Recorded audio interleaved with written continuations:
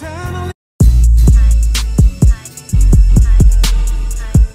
what's up, man? So I guess we finally got the green light to finally talk about this situation in its entirety. Because when this first came out, a lot of people was like, "Well, she's happy.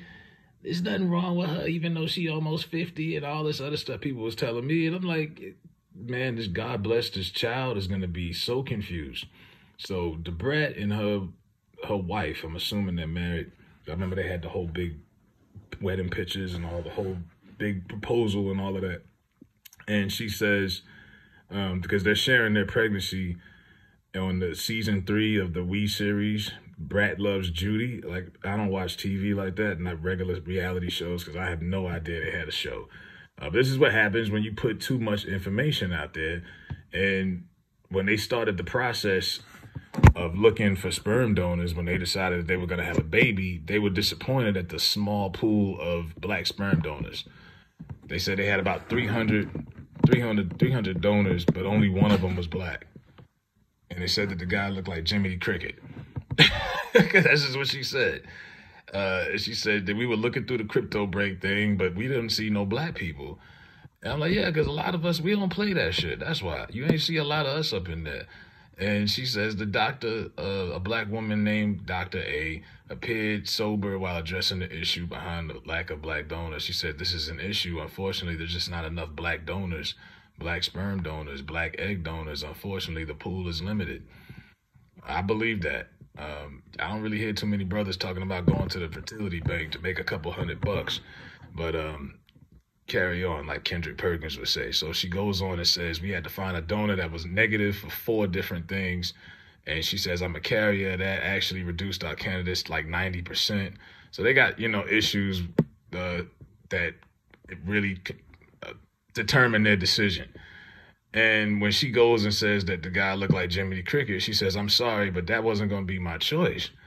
So they selected a white sperm donor, white daddy, white zaddy, whatever you want to call him. they got a, she got a white zaddy and will be welcoming a biracial son after confirming the baby's gender reveal party last month. And people, everybody's flaming the Brat right now. I think I guess that's what that's what really took it to y'all. It took this. This this is an issue from the jump. This kid is gonna be confused, not because they're biracial, but because you, you're, you're biracial. You got two black mothers as your parents. Daddy somewhere halfway across the world or somewhere in Mexico. Was is wild. And she goes on and says, "But I think we did a good job with the picking. He's handsome, he's tall, and I think he's gonna look beautiful with my wife's egg." These are her comments. Forty-eight years old, having a damn baby. God bless you, sister. Is she still a sister to y'all? Y'all think the Brat sold out? She went and got her white sperm donor? nah. Oh, man.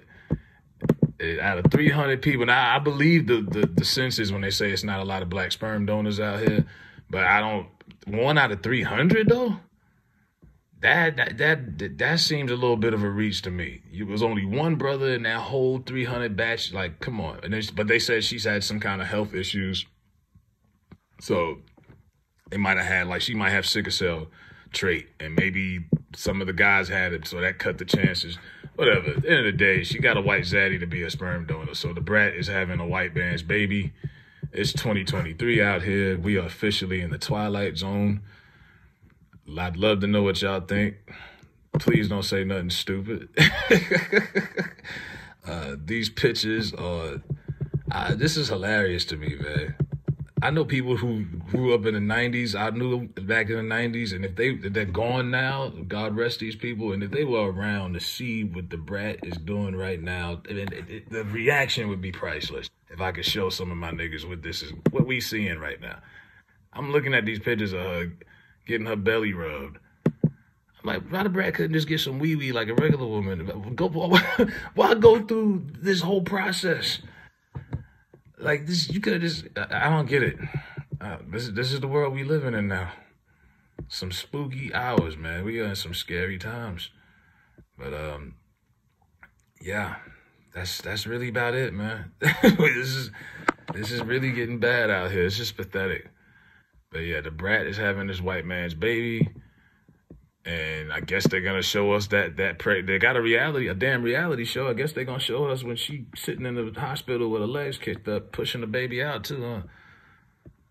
I I didn't ever thought I'd even say that sentence that the Brat is having a, a baby by a white man. oh man, but I mean, I'm not surprised though because a lot of these celebrities they they do. I remember Candace Parker was with Sheldon, what Sheldon Richardson, and then she came out and all of a sudden they, she left him and she left him for a white woman. Now look at she left him for a white woman.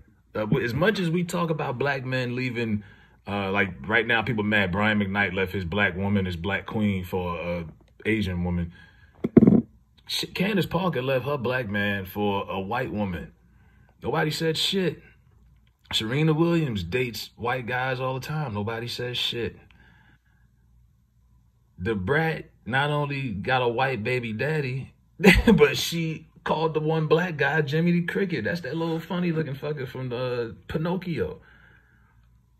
Now, if a black guy would have, put the shoe on the other foot, and what I'm kind of get to the point is if, if a black guy would have said that about a black woman, let alone just flip the script, it would have been a whole different, the energy would be completely different.